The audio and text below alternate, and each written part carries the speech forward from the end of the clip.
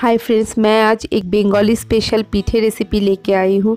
मैं ये रेसिपी बहुत आसान तरीका से आपके साथ शेयर करूँगी। उम्मीद करती हूँ ये आपको अच्छा लगे। तो सबसे पहले चावल को भिगो के रखना पड़ेगा ओवरनाइट क्योंकि चावल को अच्छा से भिगोना यहाँ पे है। आपके पास अगर टाइम नहीं है तो आप तीन चार घंटा के लिए गर्म पानी से भी भिगो के रख सकते हैं। इसे भी चावल अच्छा से जल्दी फूल जाएगा। तो यहाँ पे चावल को धो लेना है सबसे पहले, और भिगो के रखेंगे चार घंटा के लिए हल्का गर्म पानी से मैं मैं यहाँ पे 350 ग्राम्स अरवा चावल ली हूँ। चावल चार घंटा के बाद अच्छा से फूल गया है।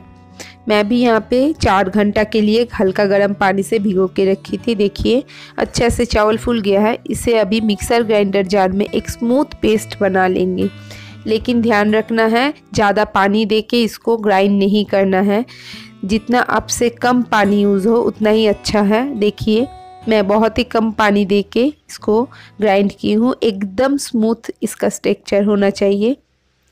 तो ऐसे करके चावल को हम मिक्सर ग्राइंडर में पेस्ट कर लेंगे और एक बड़ा सा बोल में उसको ट्रांसफ़र कर लेंगे। अभी एक पैन में आधा कप पानी डाल के पानी को अच्छे से गर्म कर लेंगे और उसके बाद इसमें मिलाएँगे 350 ग्राम्स गुड़। और गुड़ को ये पानी में मेल्ट करना है। गुड़ जैसे नॉर्मल गुड़ होता है, वही वाला आप लीजिए। और गुड़ को ज़्यादा देर आपको बॉयल नहीं करना है पानी में। जब तक गुड़ मेल्ट ना हो जाए, तब तक आप बॉयल कीजिए। और यहाँ पे पानी आप ज़्यादा मत दीजिए। आधा कप पानी में ही आप कोशिश कीजिए गुड़ को मेल्ट करने के लिए, क्योंकि ये बैटर में हम डालेंगे। और ये अगर पतला हो जाए तो बैटर भी पतला बन जाएगा, इससे पीठे अच्छा नहीं बनेगा। देखिए, गुड़ मेल्ट अच्छा से हो गया है। अभी ऐसे ही गरम में हमें डालना है बैटर में। गरम रहते ही, एकदम गरम रहते ही इसको डालना है और इसको हम छान के डालेंगे, क्योंकि गुड़ में बहुत सारा गंदगी रहता है कभी कभी तो ये छन्नी में आ जाएगा। लेकिन इसको आप एकदम गरम गरम डालिए बैटर में और धीरे धीरे करके इसको मिलाते जाइए। अच्छा से मिला के एक कप मैदा डाल दूँगी। मैदा को इसमें अच्छा से पहले मिला लेंगे, क्योंकि मैदा में लम्ब जल्दी आ जाता है तो बैटर के साथ मैदा अच्छा से मिला लेंगे और इसमें डाल देंगे एक पिंच नमक। नमक से टेस्ट का बैलेंस आता है तो नमक आप ज़रूर डालिए इसमें और मैदा अच्छा से जब मिल जाएगा, तब इसमें डाल देंगे आधा कप सूजी। सूजी मैदा को मिलाने के बाद ही डालिएगा। एक साथ अगर आप डाल दीजिएगा तो एक लंप हो सकता है। तो एक बार मैदा को अच्छा से मिला लीजिए, उसके बाद सूजी को मिलाइए। अभी सूजी के साथ बैटर अच्छा से मिक्स कर लीजिए, क्योंकि ये बैटर एकदम स्मूथ होना चाहिए, एकदम रिबन जैसा। तो धीरे धीरे करके सारा चीज़ हमको मिलाना है। देखिए, बैटर को एकदम ऐसे ही स्मूथ बनाना है। तो हल्का सा पतला बनाइएगा।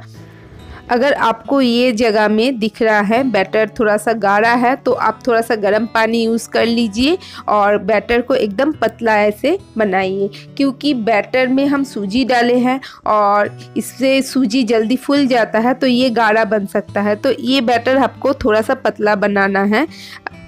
तो अभी इसको हम रेस्ट में रख देंगे दो घंटा के लिए। अभी दो घंटा के बाद अब बैटर देखिए, बहुत अच्छा से सेट हो गया है। तो बैटर का कंसिस्टेंसी ऐसा होना चाहिए।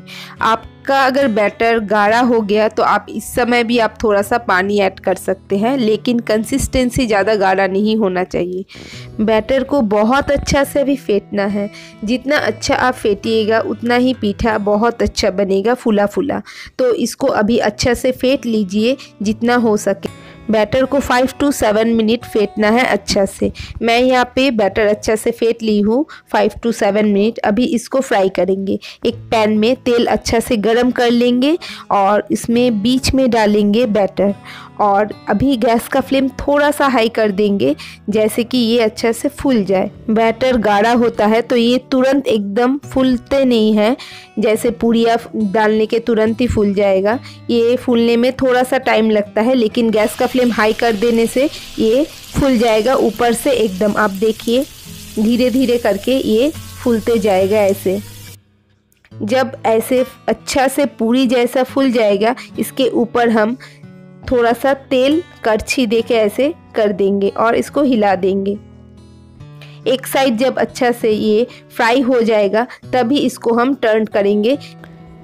अभी एक साइड अच्छा सा हो गया है, अभी ऐसा टर्न कर लेंगे। आपको ध्यान रख के गैस का फ्लेम एकदम लो करके इसको फ्राई करना है। जब ये फुल जाएगा, उसके बाद ही आप गैस का फ्लेम एकदम लो कर दीजिए, एकदम हाई में इसको फ्राई मत कीजिए। हाई में फ्राई करने से अंदर से एकदम कच्चा रहेगा तो ये एकदम अच्छा नहीं रहेगा देखिए, कितना अच्छा फुल के रेडी हो गया है। तो ऐसे करके हम एक एक करके फ्राई करते जाएँगे। तो हर बार फ्राई करने के बाद बैटर को ऐसे करके आप मिक्स कर लीजिए अच्छा से चार पाँच बार। उसके बाद ही बैटर ऐसे लेके उसको फ्राई में डालिए। बैटर को अगर मिक्स करके नहीं कीजिएगा तो बैटर नीचे से गाढ़ा होते रहेगा। और अच्छा से ये फूलेगा भी नहीं। तो हर बार आप फ्राई करते समय पाँच छः बार अच्छा से मिक्स कर लीजिए, उसके बाद बैटर को बीच में ऐसे डालिए। डालने के तुरंत बाद ही गैस का फ्लेम हाई कर दीजिए और जब ऐसे अच्छा से ऊपर से फूलने लग जाएगा, तब गैस का फ्लेम एकदम लो कर दीजिए। तो यही सब छोटा छोटा ट्रिक है, जिससे कि ये एकदम परफेक्ट बन के रेडी होगा। तो इतना आसान है इसको बनाना। इसको फ्राई करने में थोड़ा सा टाइम लगता है। ऐसा नहीं है, पूरी जैसा हम डालेंगे और फ्राई करके उठा लेंगे, क्योंकि बैटर गाढ़ा रहता है तो इसको मीडियम टू लो फ्लेम पे ही आप फ्राई करना है तो इससे अंदर तक अच्छा से पक जाएगा।